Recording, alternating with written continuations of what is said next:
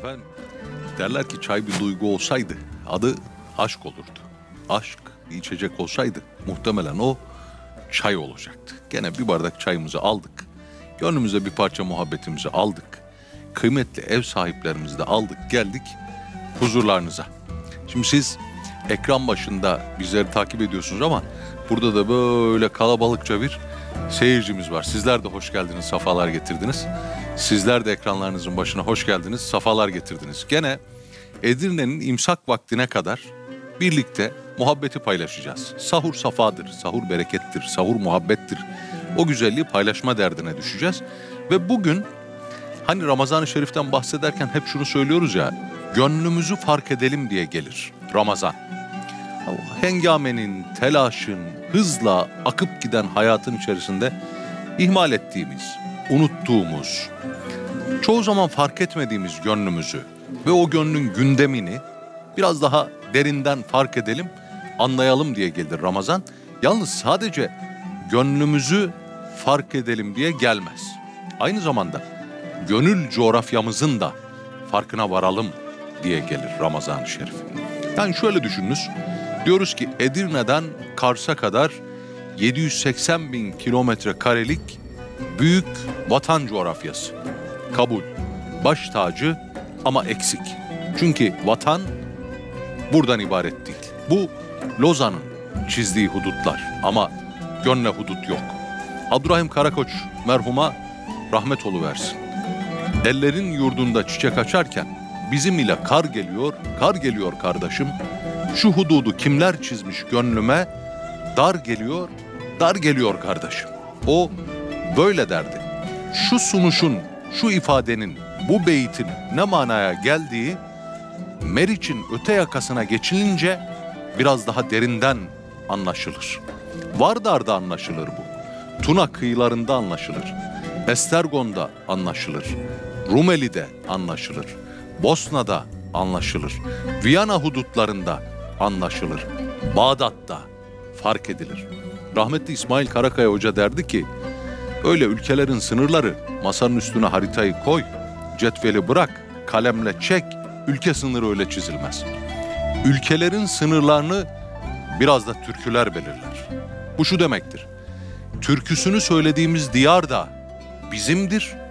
Türkümüzü söyleyen diyar da bizimdir. Vardar'ın türküsünü kim söylüyor? Estergon kalası subaşı durak, kemirir gönlümü bir sinsi firak. Kim söylüyor Estergon'un türküsünü? Tuna'nın, Plevne'nin türküsünü kim söylüyor? Şu gelen atlı mıdır yoksa Bağdatlı mıdır? Kim söyler Bağdat'ın türküsünü? Anu Yemen'dir, gülü çemendir. Giden gelmiyor, acep nedendir? Ne demektir? Bu coğrafyanın insanların neresine denk düşer? Kerkün hoyratını kim söylüyor? Şöyle düşünün. Yavuz Sultan Selim Han zamanında Türkiye küçücük bir yerdir. Babasından tahtı devraldığında Yavuz ülke iki buçuk milyon kilometre kare. Görseniz ülke demezsiniz. Yavuz Sultan Selim Han 8 sene tahta durur, göçer. Türkiye'nin yüz ölçümü altı buçuk milyon kilometre karedir. Yavuz derler bir sekiz yıl daha tahta kalsaydı yeryüzünde iman etmedik insan kalmayacaktı. Yavuz göçünce Avrupalı bayram eder. Gitti, kurtulduk. Yerine toy bir şehzadeyi bıraktı. O toy şehzadeyi Avrupalı 46 sene sonra muhteşem Süleyman diye hatırlayacaktır. Ve kanuni merhum göçtüğünde ülkenin yüz ölçümü 16 milyon kilometre karedir. Dedelerinizin dört asır adaletle, muhabbetle ilahi kelimetullah nizam alem diyerek yönettiği topraklarda bugün irili ufaklı 64 devlet kurulmuştur. Hani Edirne'den Kars'a kadardı? Hani 780 bin kilometre kare büyük bir coğrafyaydı? Ramazan işte gönlümüz kadar gönlümüzün coğrafyasını da fark edelim diye gelir. Bazen söylüyorum programlarda alın çocuklarınızı imkanınız varsa Akdeniz'e tatile kaçmak yerine bir yaz günü Rumeli'ye götürün. Bu ülkenin sınırları nerede başlar, nerede bitmez. Onu fark etsinler. Kalkandelen'de dolaşsınlar. Üsküp'te, Ohri'de, Gostivar'da, Priştina'da, Prizren'de, Sarajevo'da şöyle bir dolaşırken baksınlar Noy Pazar'da ve desinler ki aa buralar da bizim, buralar da bizden. Aa biz Anadolu coğrafyasındaki şehirlerin yüzde doksanını fethetmeden evvel buraları fethetmişiz. Bura bizimken Anadolu'nun yarısı henüz bizim değilmiş ve bizim olmak için bir üç asır daha bekleyecekmiş. Sınır sadece buradan ibaret değilmiş. Bunu fark Ramazan hatırlatır bunu. Nasıl hatırlatır? İmsaklar şehir şehir dolaşırlar. İftarlar da şehir şehir dolaşırlar. Müslüman o imsak ve iftar vakitlerinin şehirlere uğrayışıyla bir şeyi fark eder ki aslında bütün şehirler birdir. Birliğin etrafında kenetlenmektedir bütün şehirler. Gönül coğrafyası diye bir yer vardır. Bir ezan sesi duyuluyorsa bir yerde orası bizden uzak değildir. Bizdendir, bizimdir, bizdir. Sezai Karakoç merhuma rahmet olsun. Demişler ki üstad vaktiyle 2000'li yılların başı daha Suriye böyle allak bullak olmamış. Suriye Hatay üzerinde hak iddia ediyor ne dersiniz? Bize söyleseler hey heyleniriz hadi oradan deriz. Vermeyiz toprağımız deriz. Sezai Bey öyle bir şey demiyor. Diyor ki doğru söylüyorlar diyor. Hatay onlarındır. Hatta İstanbul'da onlarındır. Konya'da onlarındır. Tıpkı Bağdat'ın benim olduğu gibi. Halep'in, Şam'ın, Kahire'nin benim olduğu gibi. Bosna'nın, Üsküp'ün, Kosova'nın benim olduğu gibi. Şu vahdet ruhuna ne kadar muhtacız değil mi? Ramazan biraz da bunun için gelir. Peki bütün bu işleri böyle yapan ecdat nasıl yaptı da bu işi başardı? İşte bu sahur bunu konuşacağız. Osmanlı padişahları tarih kitaplarının anlattığı kadar ve anlattığı gibi miydi? Yoksa tersi istikamette ve çok üstünde bir yerde mi duruyordu? Ecdat ilahi kelimetullah nizam alem diyerek dünyanın öbür ucuna ne diye gitti? Kanuni 73 yaşında at sırtında ziget var da niçin şehit oldu? Ah özü diye dizini döverek dünyadan göçen hünkârın derdi neydi? Bütün bunları konuşacağız. Ömer Tuğrul İnançer hocam bizimle, Cem Uçan bizimle. Ama tabii siz şimdi her zaman olduğu gibi diyeceksiniz ki Serdar Bey, madem konu bu kadar mühim, madem ki dedelerimizi konuşacağız, hadi şunu da söyleyelim. Allah bizi de o dedelere layık ahvat eylesin. Bizi onlara benzetsin. Hep üzülürdük, acaba derdik. Hani sancak düştüğü yerden kalkar da, lan sancağı taşıyanlara bizim halimiz benzemiyor. Bu iş nasıl olacak? Allah bir 15 Temmuz verdi bu ülkeye ve şunu dedi, fıtrat değişir sanma bu kan yine o kandır. Lazım olduğu anda bu milletin ahfadı da tıpkı ecdadı gibi o sancağı düştüğü yerden alıp kaldırıverecektir. Evelallah. Bunu fark ettirdi. Kısa bir ara. Teheccüd kılarken buna da dua edin. Deyin ki ya Rabbi sen belki dedelerimizin yaptıkları hatırına, belki de torunlarımızın yapacakları hatırına bu güzel vatanı muhafaza ediyorsun. Bizden bile muhafaza ediyorsun ya Rabbi. Bizim elimizle değil, bize rağmen bizimle bir iş yapmayı murad ediyorsun. Bizi o murada layık eyle. Duamız bu olsun teheccüd sonrasında. Ondan sonra beraberiz efendim. Buradaki dostlara da sorayım. Siz ne yapacaksınız? Setin etrafında durup fotoğraf çekip alo el sallıyorum TRT'deyim mi diyeceksiniz? Yoksa camiye geçip teheccüd mü kılacaksınız? Teheccüd kılacağız değil mi? Bana da dua edeceğiniz mi? Allah'ım sizden razı olsun. Hadi buyurun gidiyoruz araya. Eyvallah.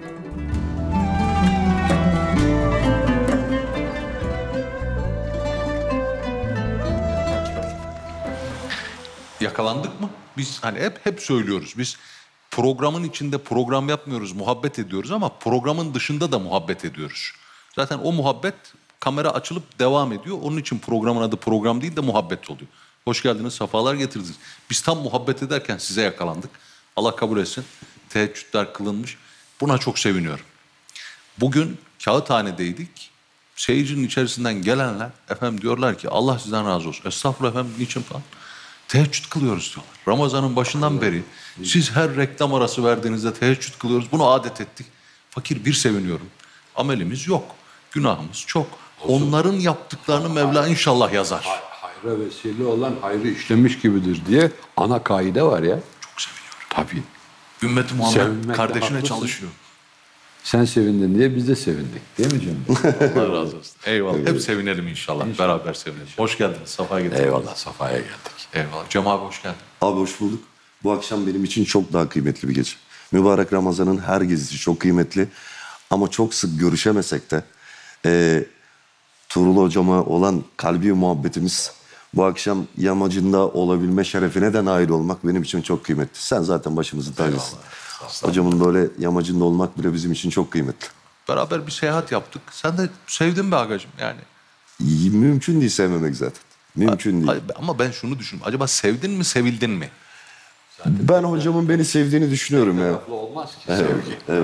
O tek taraflı olanın adı aslında sevgi değildir.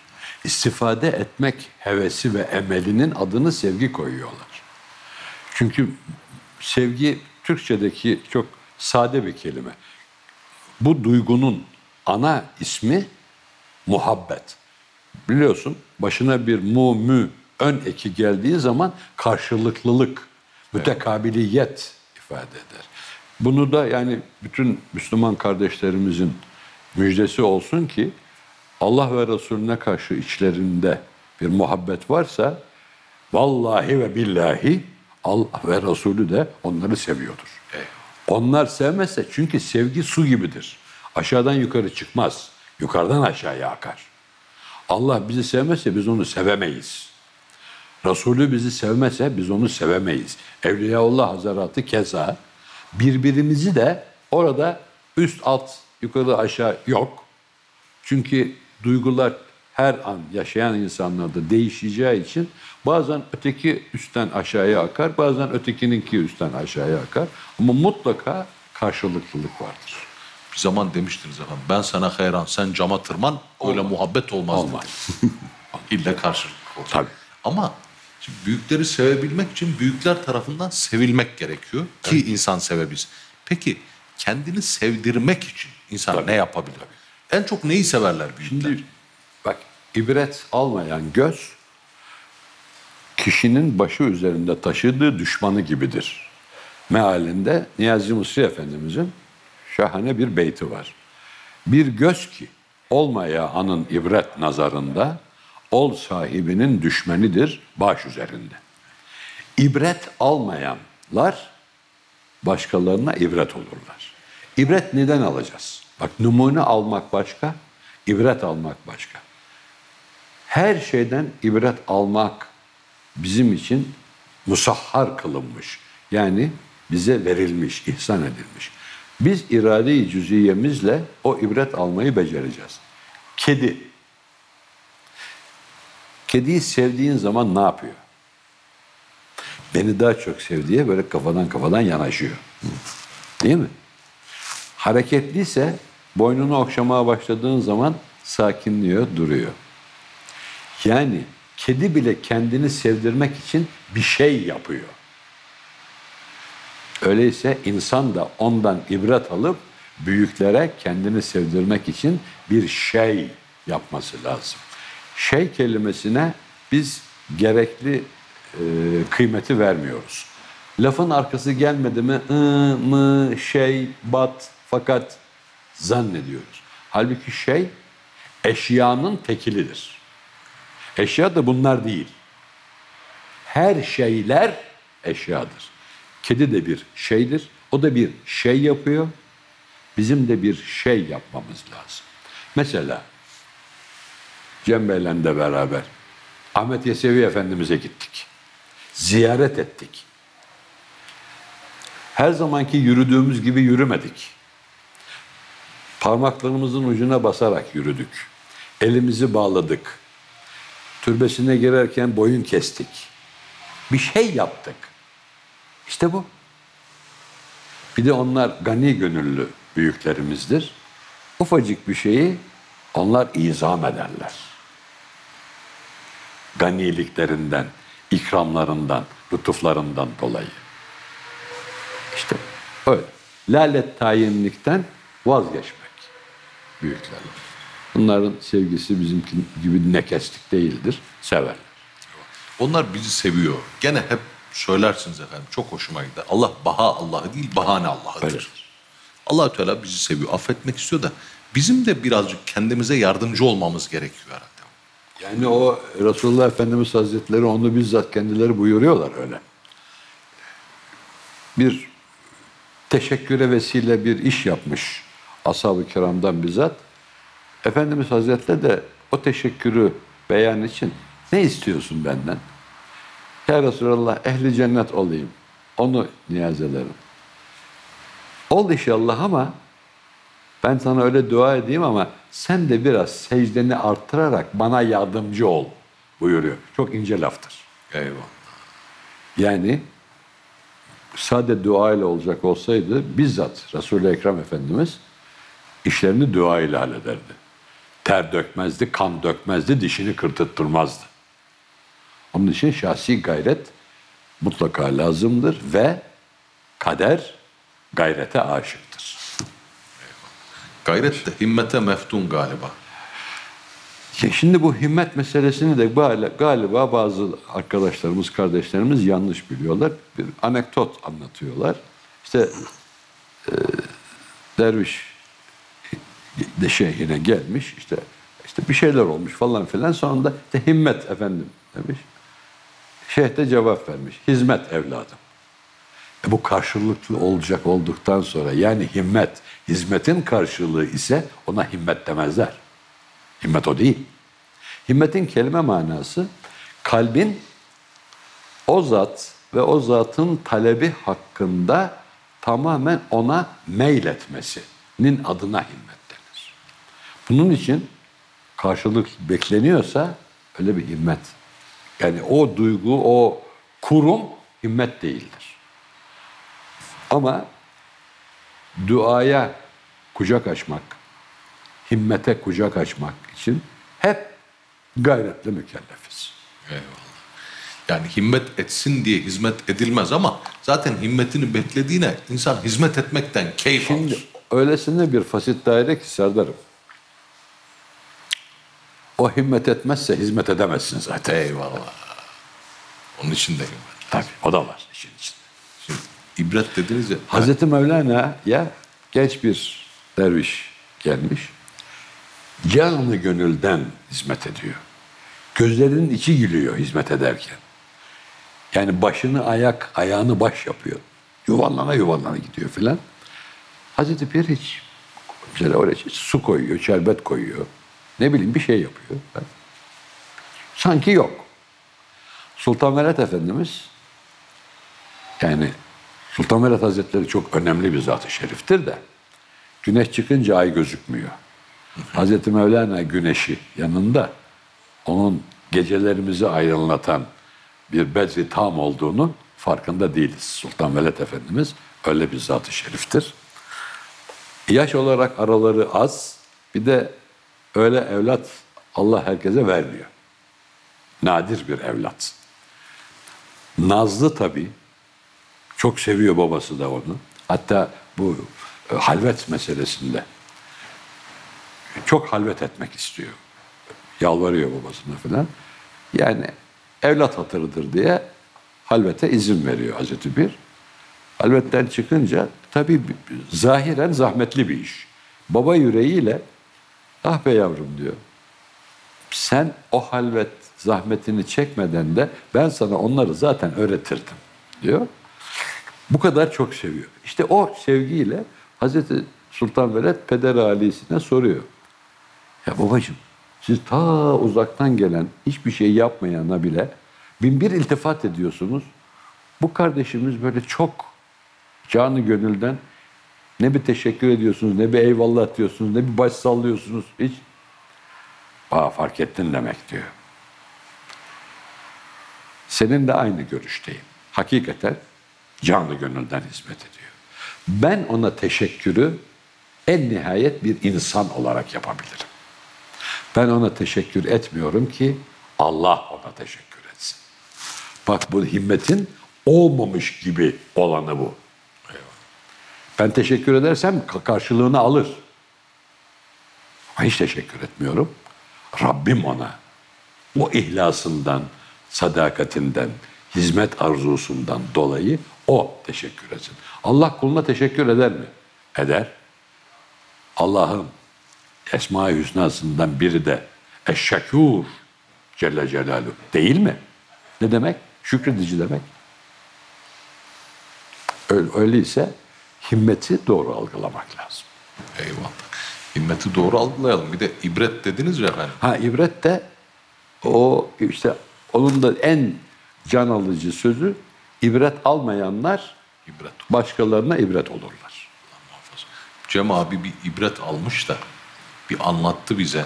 Biz dedik ki Allah Allah hastanede böyle bir attan düşüp şey ameliyat olunca tam bir ibretlik hadise yaşamış. Nereden aklına getiriyorsun bunları Serdar abi? benim, benim, çok hoşuma gitmişti o. Böyle bir tebessüm etmiştik. Dostlar da duysun.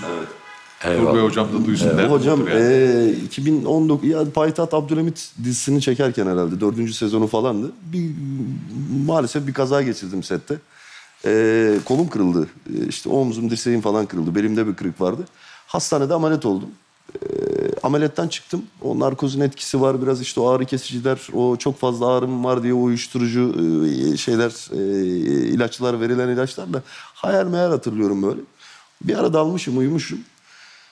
Böyle gözlerimi bir yarım araladım. Tam ayak ucumda üç tane zat-ı muhterem abimiz ama yeşil cübbeler, yeşil sarıklar, e, upuzun sakallar. Üçünün de elinde Kur'an-ı Kerim. Kur'an okuyorlar. Dedim ki Allah Allah. Gözlerimi kapattım. Dedim bir 30 saniye sonra tekrar açacağım. Acaba oradalar mı hala? Bir daha açtım. Gerçekten oradalar. Yani diyorum ki herhalde bu, işte ağrı kesicilerden bu narkozun etkisi falan görüyorum. Çünkü bayağı e, tarihin sahnelerinden önemli zatların içerisinden çıkıp e, bir kurgulanmış karakterler gibi duruyorlar. E, aktör gibiler üçü de ve muhteşem bir sesle çok güzel kısık sesle Kur'an okuyorlar. En sonunda aklıma geldi dedim ki Cem o, e, sevgili eşimle annem odadalar aynı zamanda. Dedim şöyle bir başını çevir bak bakalım onlar odadalar mı? Ama korkuyorum da bu arada yani.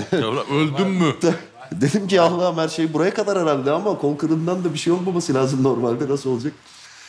Döndüm baktım annemle e, eşim Gülşah Hanım e, başlarını çevirmişler camdan dışarıya bakıyorlar. Sonra anladım ki e, bu abiler gerçekten oradalar ve beni hiç tanımadığım insanlar, sevmediğim, e, e, hiç tanımadığı, ben tanımıyorum ama onlar beni çok seviyorlar. O kazayı geçirdiğimi duymuşlar ve gelmişler e, benim bir an önce şifa bulmam için. Orada e, Kur'an-ı Kerim okuyorlar başucumda. E, okumuş sular getirmişler yanlarında. Ma- Mahmut Efendi Hazretleri'nin Evet Mahmut. Efendi Hazretleri'nin dervişlerinden. Ama ben ilkinde bir mantığa oturtamadım hocam. Biraz bir ufak telaş aldı beni diye düşünebilirim. Ne Yani. güzel, o da güzel ama keşke öyle bir yolculuk e, hepimize nasip olsa da e, işte muhabbet her şeye kadir. Evet. Yani sevmese. Velev ki canlandırdığım karakteri seviyordu aktörlükten dolayı deseniz bile netice itibariyle zat önemlidir. Zata gelmiş. Orada o okuma, o zahmet Allah katında boş mu kalacak? Mümkün mü? Yani muhabbet her şeye kadirdir. Çünkü hilkatin sebebi muhabbet. Yaratılışın sebebi. Zaten İslam fıtri yani yaratılışa uygun bir dindir. Onun için fıtratın sebebi muhabbet olduğu için muhabbet de mutlaka en müessir kurumdur. Muhabbet çok önemli. Cem abi bunu anlatınca ben dedim inşallah kelime-i şehadet falan getirmemişsindir diye. O Erzurum'daydı abi. Hani o, o ayrı. Birisi efendim böyle bir trafik kazası geçiriyorlar. İlmi de olan birisi. Ağır da bir kaza geçiriyorlar filan. Sonra Arif bizzatın huzuruna varıyor. Kazayı anlatırken diyor ki efendim diyor çok korktum ve kelime-i şehadet de getirmedim diyor. Niye kelime-i şehadet getirmedin? Ölürüm diye korktum efendim demiş. Demişse ölürüm.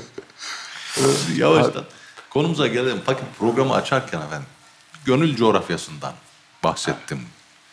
Ramazan gönlümüzü fark edelim diye gelir ama gönül coğrafyasını da fark edelim diye de gelir deyip ilave ettim ve sonra bu eksende ecdadı konuşacağız dedim.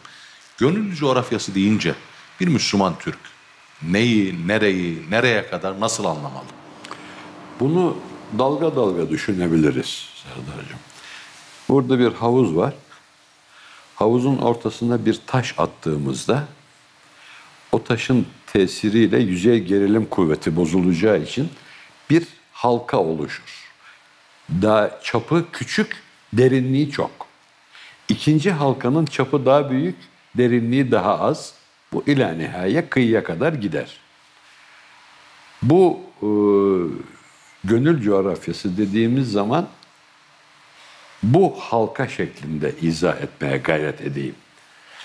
Biz Rabbül Alemin'in kulu ve rahmeten lil aleminin ümmetiyiz.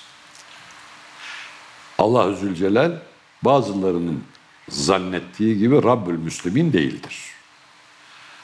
Muhammed Mustafa aleyhi ekmel ittihaya yine bazılarının zannettiği gibi e, Müslümanların e, yani rahmeten lil müslimin değildir. Rahmeten lil alemindir. Dolayısıyla bizim gönül coğrafyamız bütün beni beşeri, bütün beni Adem'i kapsar. Biz bütün insanları ve o insanların tabii yaşadıkları yer. İnsan dediğin kıyafetiyle, kılığıyla, yemesiyle, içmesiyle, yatmasıyla, kalkmasıyla, eşiyle, çocuğuyla, çocuğuyla beraber. Biz bütün insanları gönül coğrafyamıza da, gönül kapasitemize de sığdırırız. Bir tek istisnası var. Bize düşmanlık yapmak için gelenleri def ederiz. Def ederiz. Bu def etmek sadece öldürmekle olmaz. O düşmanlık için gelmelerine mani olacak her türlü tedbiri almakta. Mesela alat-ı askeriyemiz fevkalade yüksek. Korkar gelmeye. Yeter. Düşmanlık yapmak isteği var ama korkar. Tamam işte demek onu yapmalıyız. Ondan sonra en küçük çaplı ve derin olan halkaya gelirsek İslami kaide olarak malum bir memleket Müslümanlar tarafından fethedilip bak zapt edilip değil. Bunu çok vurgulamaya çalışıyoruz. Çünkü maalesef kendi içimizdeki kardeşlerimiz bile bunu anlamıyorlar.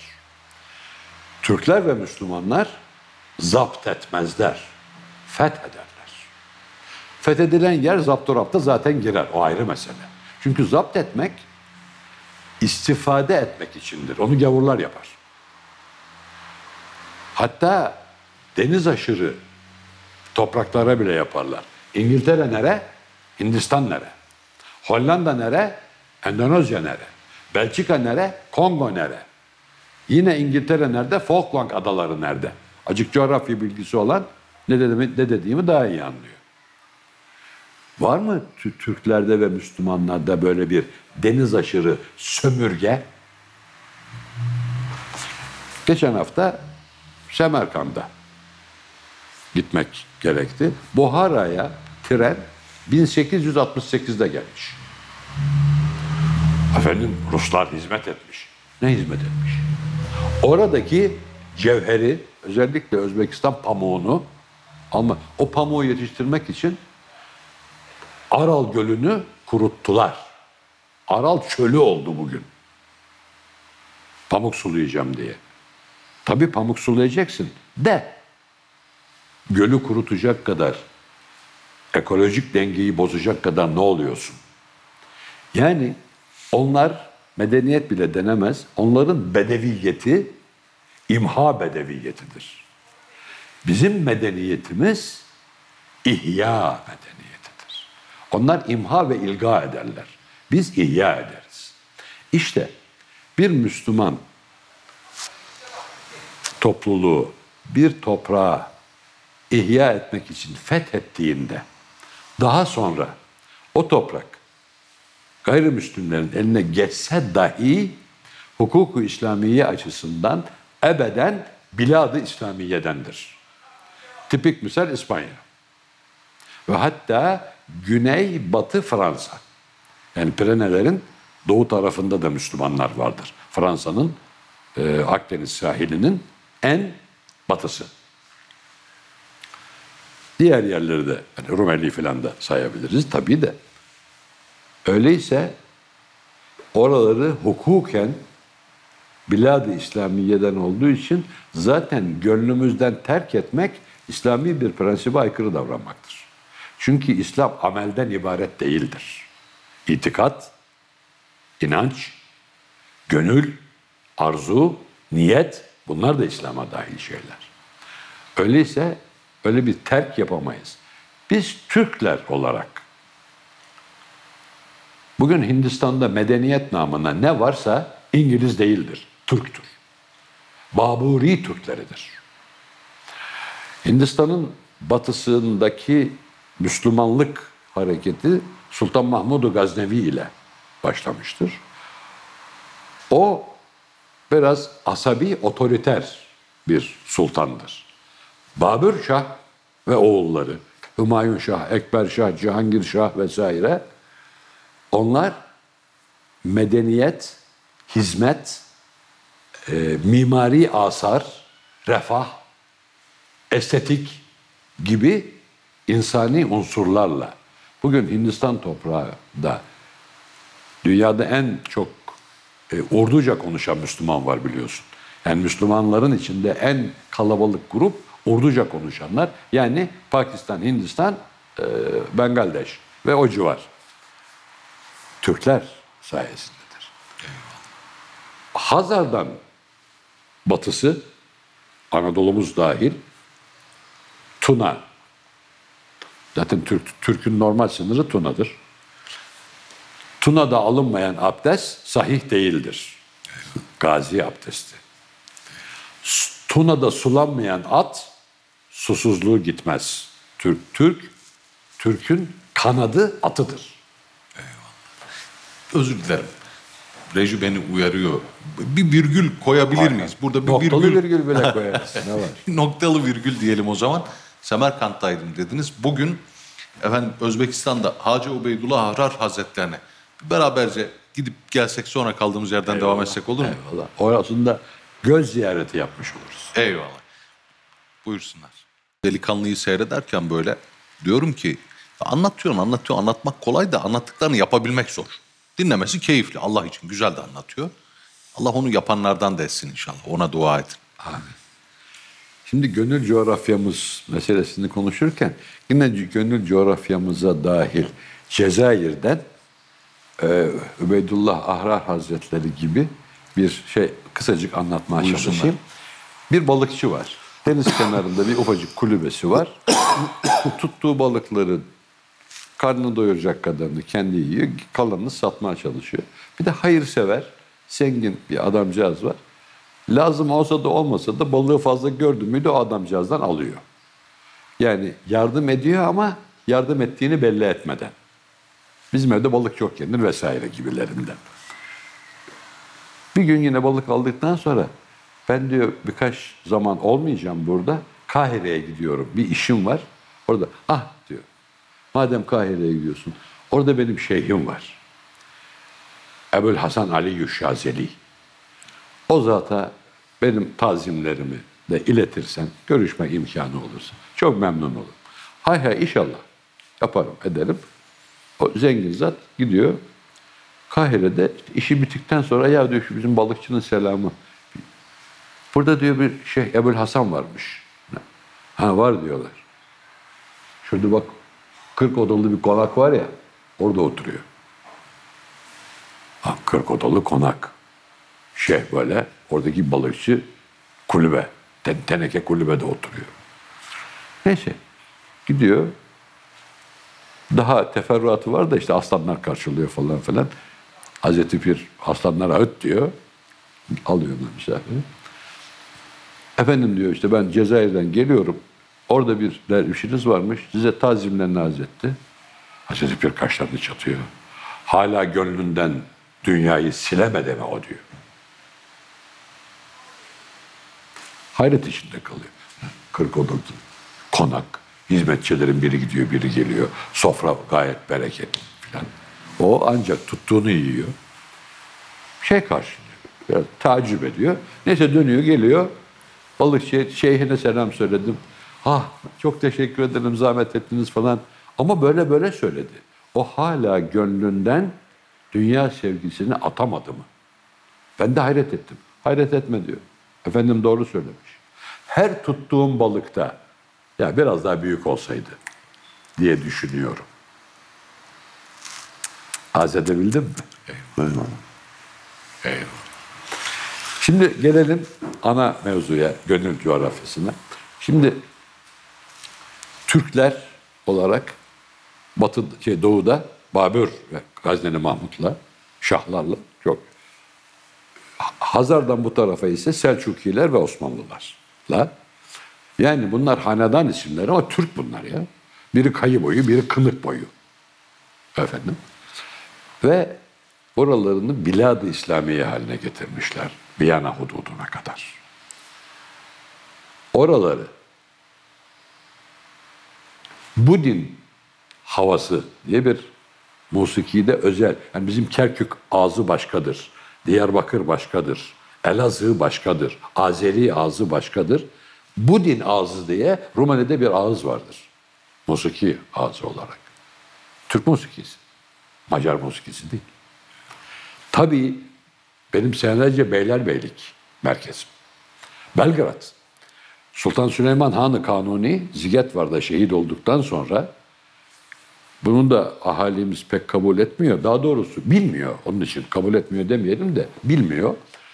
Sultan Murat Han Hüdavendigar Miloš Kovileviç tarafından bıçakla, hançerle yaralanıp vefat edince şey iyi de 72 yaşında İstanbul'dan Zigetvar'a at tepesinde gidiyor ve muhasarada bedenen hasta yatakta yatıyor. Sokollu Mehmet Paşa e, muhasarayı ve muharebeyi idare ediyor. Gözü yarı açık, yarı kapalı Sultan Süleyman Han'ın oldu mu, kapı açıldı mı, bayrak dikildi mi? Gözü açınca onu soruyor. Olacak hünkârım, az kaldı hünkârım falan. Bizzat Sokollu geliyor, kapıyı devirdik, sancak-ı şerif burçta deyince elhamdülillah Allah'a ısmarladık. Şehit değil mi? Bu parantez içindeydi. Sultan Süleyman Han Zigetvar'da şehit olunca 46 senedir devlet reisi. Orduda zaten 46 yaşın üstünde pek adam yok. Vefatı büyük bir boşluk doğuracak diye o malum e, her seferde sefere gidilirken bir ordu şeyhi bulunur. O e, şeyin seferin Zigetvar seferinin de ordu şeyhi Edirne Kapı'da bugün e, hava şehitliğinin olduğu yerde tekkesi olan Sır Tekke denir oraya. Onun şeyhi olan Halvetiye'den e, Nurettinzade Muslihittin, Muslihittinzade Nurettin Hazretleri. O diyor ki Sokollu'ya, Sokollu'nun da şeyhi. Hünkârın vefatını söylemeyelim kimseye. Hatta ertesi gün güneşe karşı askerler geçerken gözlerine güneş geliyor. Kapalı çadırda arkasından yani oturtuyorlar Sultan Süleyman Han'ın cesedini. Arkadan bir el çaktırmadan elini kaldırıyor. Elini sallatıyor, selamlıyor. Ve hemen Şehzade Selim'e, ikinci Selim Han olacak, şeye gidiyor, Manisa'ya haber gidiyor. İstanbul'a bir uğruyor, hemen bir ayaküstü biat merasimi yapılıyor. Saltanatlı biat merasimi Belgrad'da yapılmıştır. Yani Belgrad bizim padişahımızın, devlet reisimizin bile biat merasiminin yapıldığı Beylerbeylik merkezimiz. Nasıl unuturuz ya? Plevne'de Gazi Osman Paşa'nın kumandasında Abdülezel Paşa'nın harekatı idare etmesi, tamam genel komandan Gazi Osman Paşa ama fiili muharebeyi idare eden Abdülezel Paşa. E onu nasıl, Plevne'yi nasıl unuturuz? Düşün ki normalde teslim şartnamesinde silahlar teslim edilir. Çar, ne o da bir devlet reisi. Osman Paşa Hazretlerinin kılıcını almıyor. Saygı gösteriyor. Ve hala e, Fransa'daki meşhur askeri akademide iki ders vardır. Biri Napolyon başlatmıştır o dersi. E, Resulullah Efendimiz Hazretlerinin Uhud'da askeri dizmesi ve vaziyet planı. Yani Uhud malum böyle bir vadidir. Vadiye girdiğin zaman sağ tarafta yüksekçe bir yerde Resulullah Efendimiz Hazretleri'nin muharebe idare yeridir.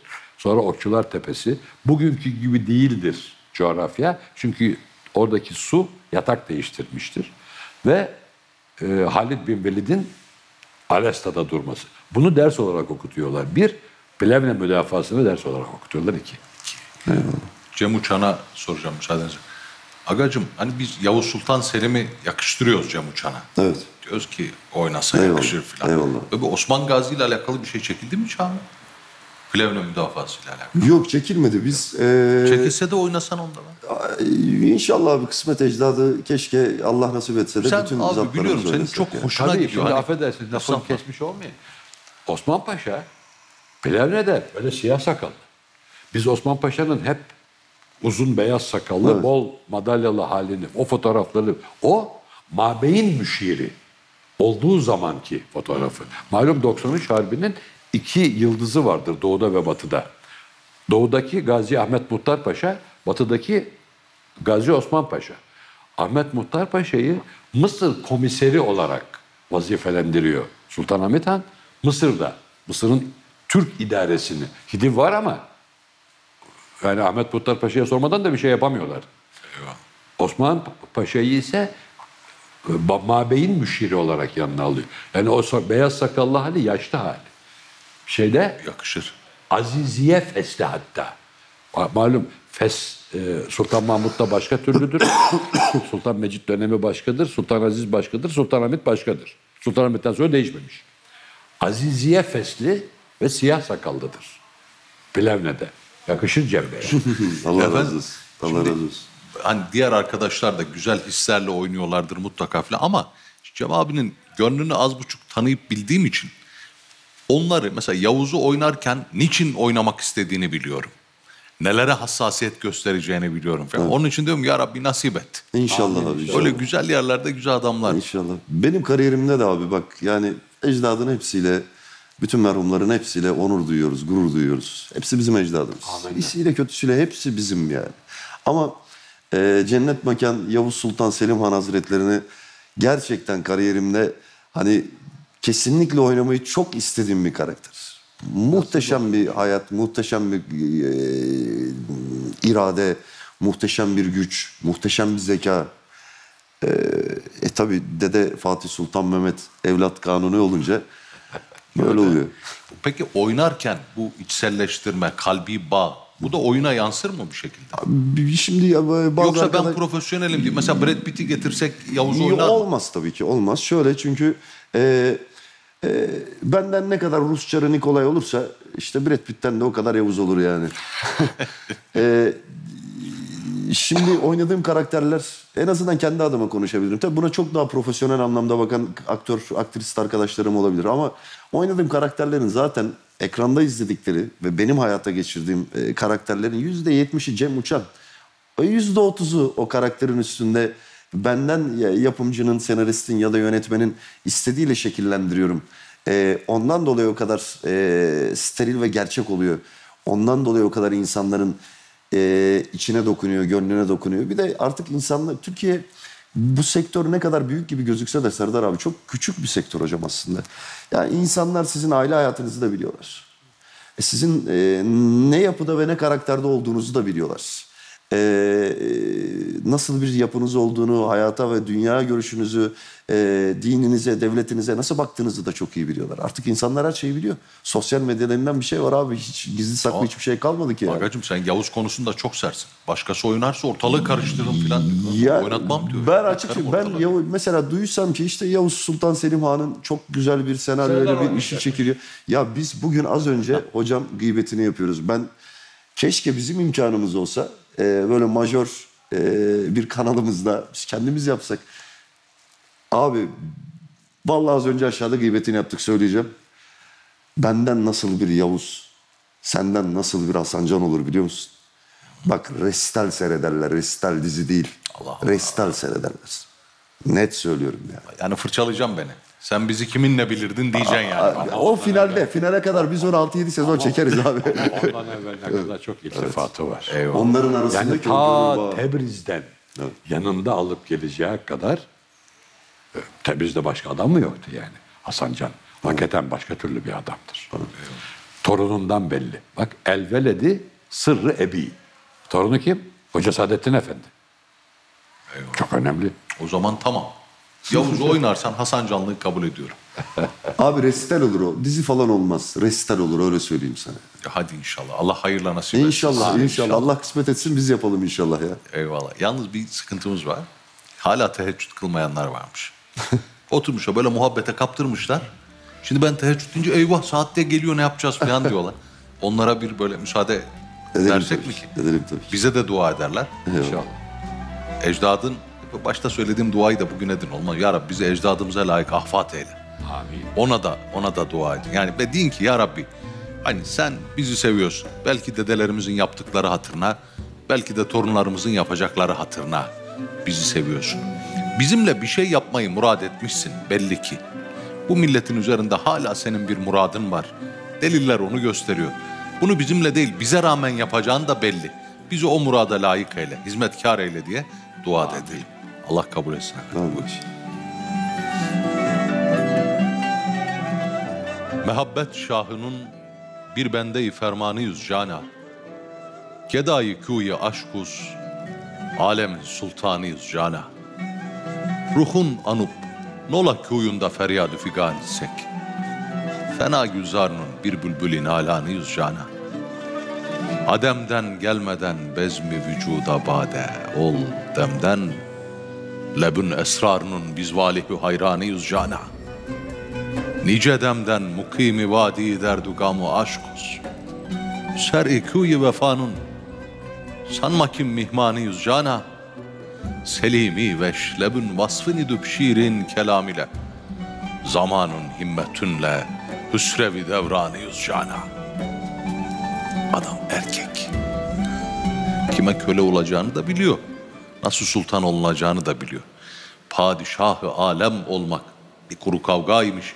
Bir veliye bende olmak cümleden alaymış. Bu beyit de az evvelki şiir gibi Yavuz Sultan Selim Han'a ait. Büyük padişah, büyük şair. 36 padişah var, 33'ü şair yahu.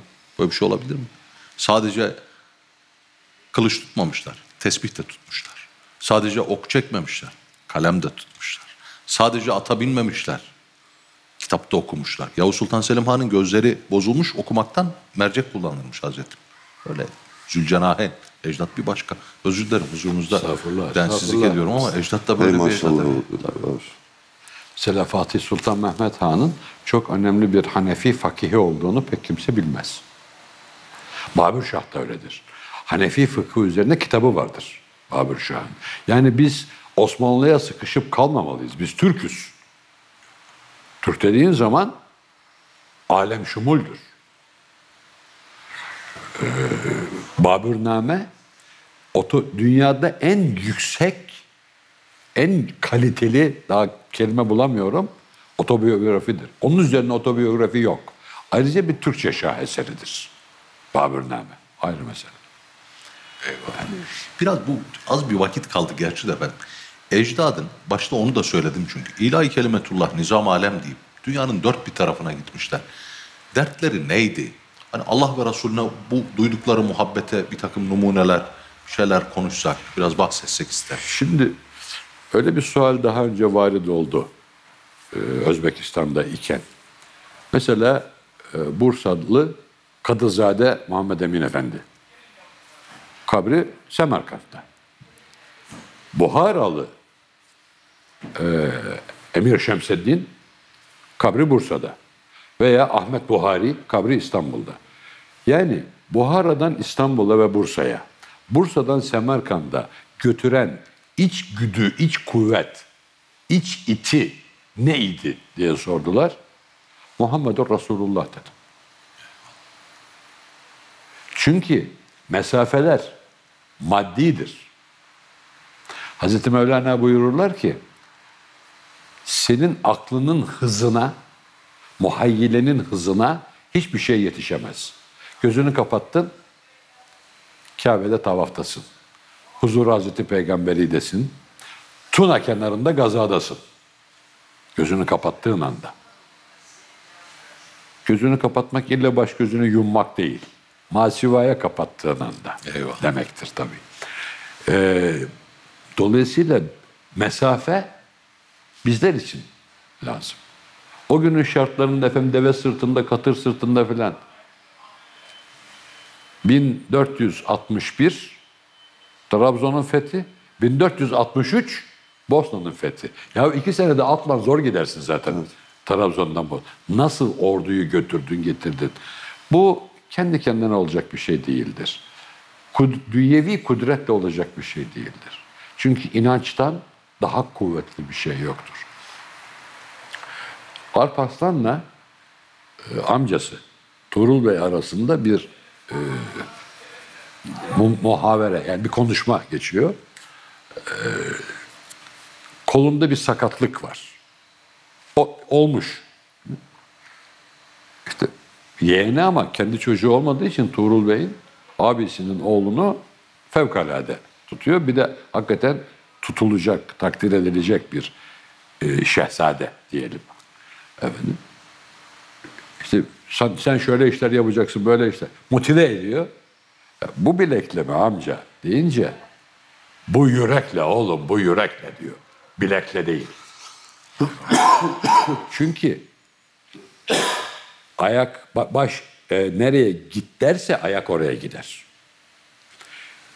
İşte o büyükler gerçi kendi ayaklarını da kullanmışlar ama baş olarak doğru gidilecek yerleri emretmişler. Ve Allah'a ve Resulüne inanmışlar. Biz Huneyn'de Efendimiz Hazretlerinin başkumandanlığındaki seferde malzememize, lojistiğimize zamanı tabiriyle sayımıza güvendik.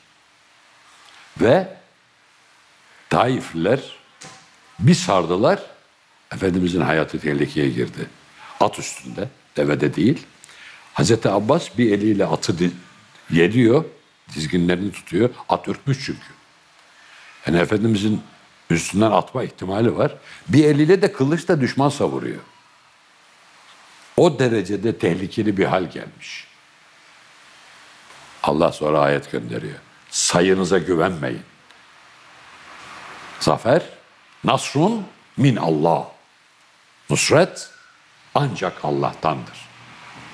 Silah kuvvetinde, ordu sayısında değildir. Malazgirt'te kaça kaçız? Eyvallah. sayısal olarak.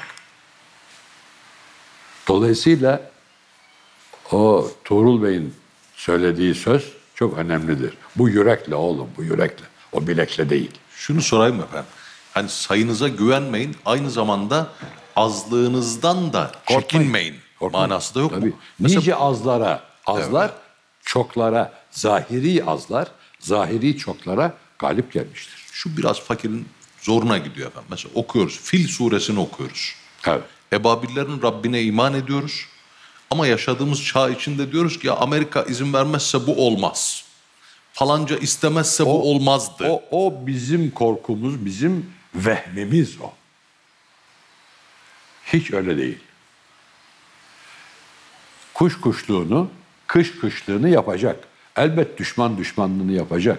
Sen evvela kendi üstüne düşeni fert olarak, millet olarak, idareci olarak sen evvela kendi üstüne düşeni yap. Evvela Allah'a güven, sonra atını sağlam kazığa bağla. Ama bu terbiye yerine bize evvela atını sağlam kazığa bağla sonra Allah'a güven öğretildi. Yanlıştır. Evvela Allah'a güveneceksin. Sonra atını sağlam kazığa bağlayacaksın. Bu sıra önemli mi? Evet önemli. Çünkü evvela atını kazığa bağladığın zaman kazığa güvenirsin. Hiç belli olmaz. At bir seker kafasını, kazığı da koparır, alır gider başını. Ama Allah'a güvenirsen Allah innallâhe me'ana. Muhakkak ki Allah bizimledir. Şimdi bu sözü söyleyen yani Kur'an-ı Kerim'de tabi Allah kelamı ama Allah orada hadiseyi anlatırken bu sözü söyleyenin ağzından söylüyor. Kim bu sözü söyleyen? Resulü Kibriya aleyhi ekbelit dahaya. Korkma, mahzun olma. Hazreti Ebu Bekir'e diyor. Allah bizimledir. Şimdi bu dursun.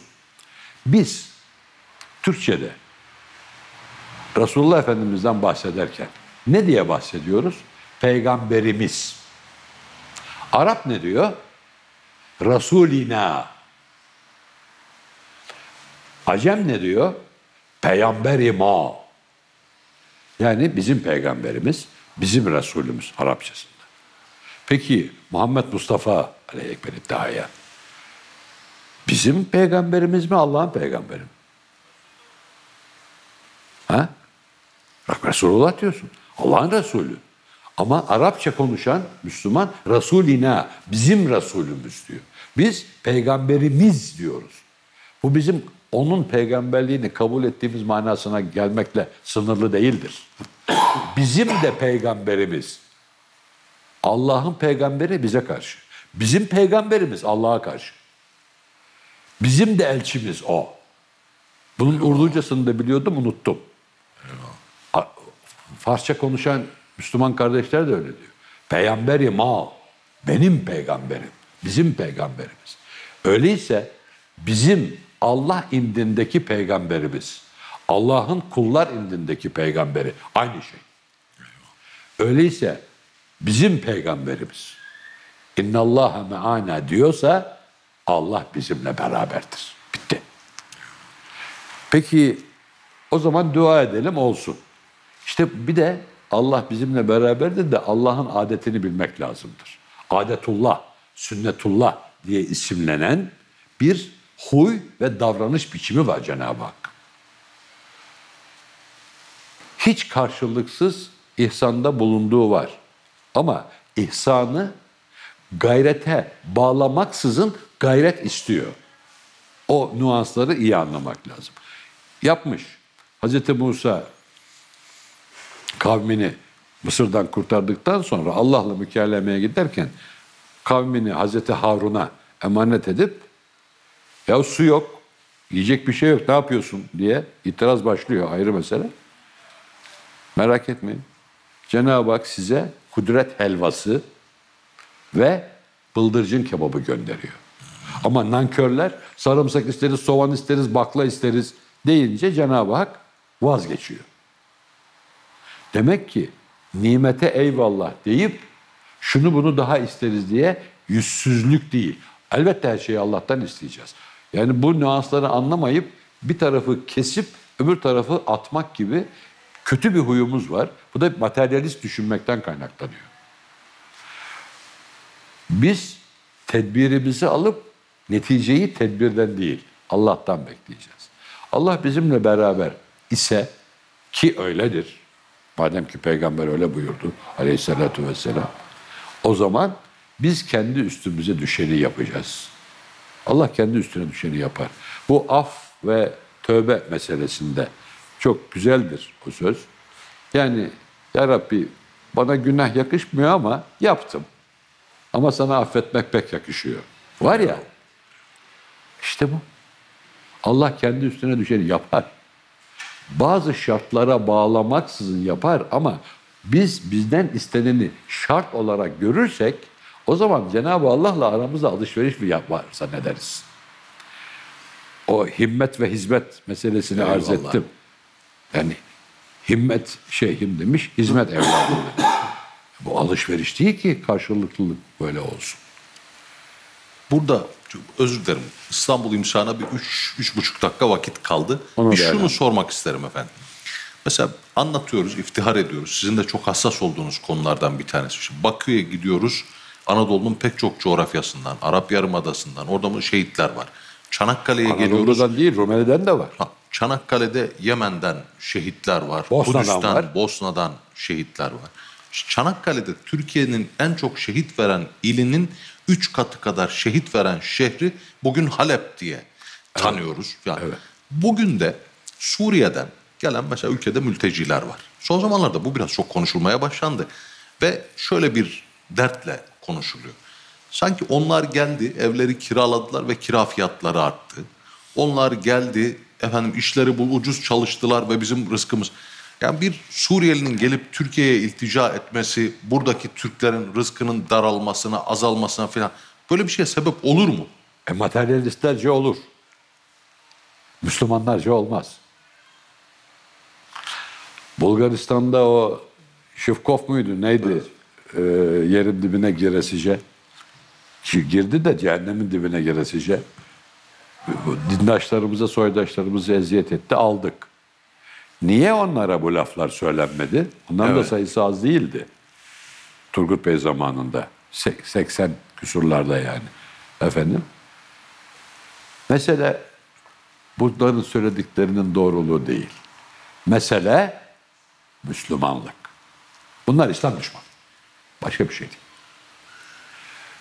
Halep'le Kilis ve Antep arasındaki farkı bana anlatsınlar. Şöyle bir fark var. Halep'te Türkçe konuşan daha azdır. Antep'te Arapça konuşan daha azdır. Bu Suriye meselesi olmadan evvelki manzarayı söylüyorum.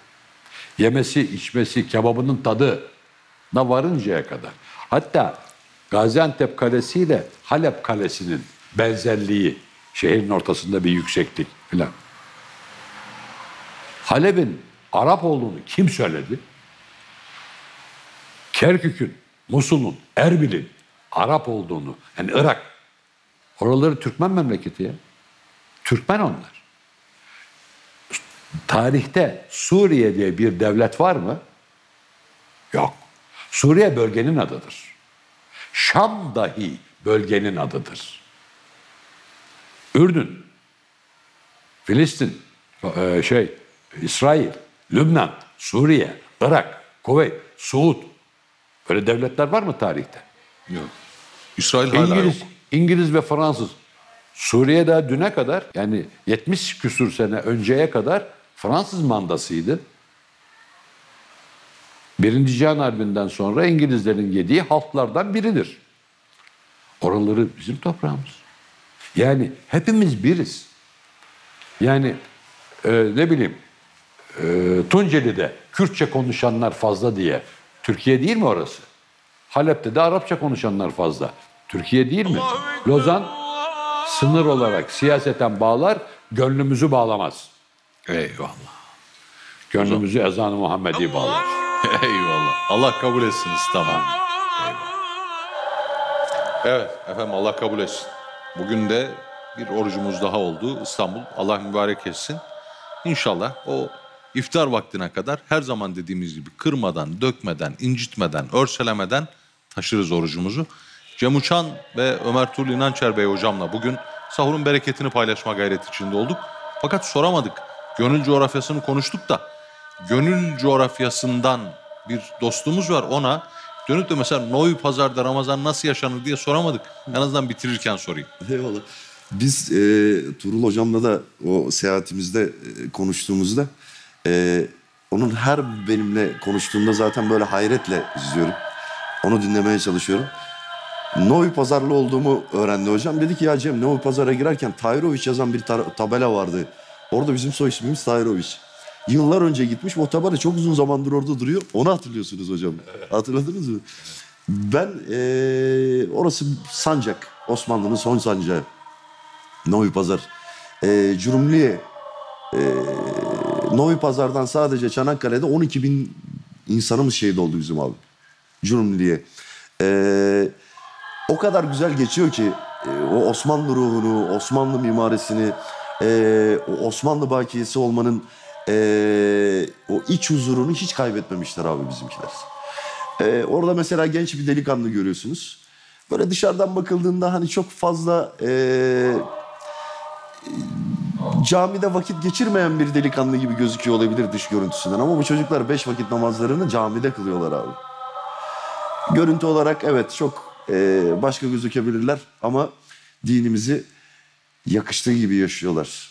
E, dinimizin hak ettiği gibi, kendilerinin hak ettiği gibi yaşamaya çalışıyorlar. E, bir de sanki böyle e, Novi Pazarı biliyorsun abi. E, çok büyük bir yer değil hocam. Çok daha sıcak, çok daha keyifli. E, örf adetten de çok fazla asimile olmadıkları için e, çok daha keyifli geliyor Serdar abi.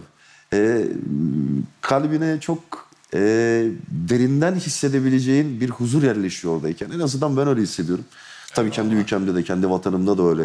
E, Ramazan ayı çok mübarek bir ay.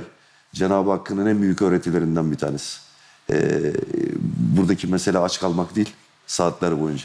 Cenab-ı Allah bambaşka şeyler anlatıyor insanlara. E, Allah cemi İslam'ı aç, yoksun bırakmasın. Hepsi evlatlarına yedirecek birer ekmek bulsunlar. Ee, ama bizim de elimizin yettiği kadar, gözümüzün gördüğü kadar, nefesimizin yettiği kadar, avucumuzun o sıcaklığının yettiği kadar birilerinin en azından bu mübarek ayda sırtını sıvazlamamız, ekmeğimizi paylaşmamız, bir bardak suyumuzu, rızkımızı paylaşmamız. Ee, eğer bunu becerebilirsek o zaman Ramazan çok daha büyük keyif oluyor. Çok daha büyük lezzet oluyor. Eyvallah. İnşallah onun zevkini alırız. İnşallah. Çok teşekkür ediyoruz. Cem Bey böyle munis filan gibi anlattı. Yalnız ben Sancak ahalisinin ki sancağı bölmüşler. Sırbistan'a vermişler, Karadağ'a vermişler bilmem ne. Sancak bölünmüştür bugün. Ona rağmen Sancaklılar bilekleri ve yürekleri kuvvetlidir ayrıca. Çok Eyvallah. Onu, o son harpte de bu gözükmüştür. Teferruata girmeyelim. Yani nefisleriyle de düşmanla da mücadele etmesini oradaki Müslümanlar içinde biraz daha ön saftadır sancaklılar. Bu, ben sancaklı değilim. Benim Rumeli'de hiçbir kan ve aile bağlantım yok. Ama evladı Fatihan yadigarıdır diye severim. Bu farkları da bilirim. Sancaklılar yani biraz efedir. Böyle değil. Eyvallah. Efendim geldik programın sonuna. Çok teşekkür ediyoruz. Hocam. Estağfurullah. Biz teşekkür Ve ederiz. Ramazan-ı Şerif'in çok hızla geçtiğine de bir kez daha dikkat çekme adına söyleyeyim. Önümüzdeki hafta Allah nasip ederse son sahurda zat halinizle tekrar birlikte olacağız. İnşallah. Bu senenin son sahuru diyelim. Eyvallah. Bu senenin son sahurda. Cem Uçan çok teşekkür ediyoruz. Abi Sağ ben çok teşekkür ederim. Allah razı olsun. Davet Eyvallah. için. Estağfurullah. Teşrifiniz için teşekkür ederiz. Kitaplarımızı takdim edeceğiz ama bugün nasıl oldu böyle? Biz programdan sonra inşallah Eyvallah. takdim edeceğiz onları. Aziz dostlar yarın Allah nasip ederse iftarda Profesör Doktor Saffet Köse ve Senayi Demirci bizimle birlikte olacak. Sahurda da Doçent Doktor Yasin Pişkin ve Feyzullah Çelebi ile beraber olacağız. Hediye kitaplarımızı nasıl alacağınızı artık biliyorsunuz. Uzun uzun anlatmama gerek yok. Arkadaşların yazdığı Instagram hesabındaki son paylaşıma bir göz atıverin. Gerekli bilgi orada var. Vaktimi çok açtım. Emek veren bütün kardeşlerim adına hepinizi saygı ve hürmetle selamlıyor. Hayırlı sabahlar diliyoruz. Allah'a emanet olun.